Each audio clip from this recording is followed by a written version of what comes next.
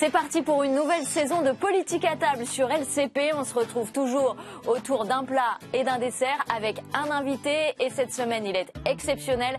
C'est le chef cuisinier Yves Cordeborde. Et Brigitte au menu, une brandade de morue et en dessert une crème caramel. On va parler de la bistronomie, concept inventé par Yves Cordeborde il y a 30 ans. Qu'est-elle devenue? Et puis on va s'intéresser à la nourriture des rugbyman.